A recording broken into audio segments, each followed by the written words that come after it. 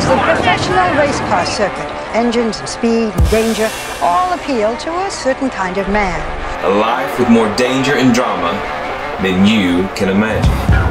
Oscar winning director Martin Scorsese stated, Where there is danger, there is drama. Prophetically, he could have been defining Terri O'Connell in her iconic and dangerous journey.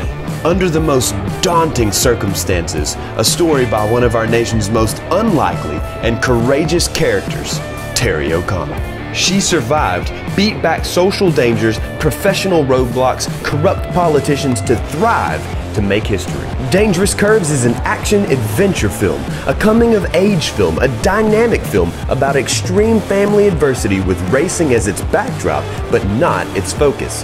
This is a film destined to inspire all of us to be all we can be, to never, ever give up no matter what. Where there's danger, especially Terri O'Connell's dangerous curves, there's always drama.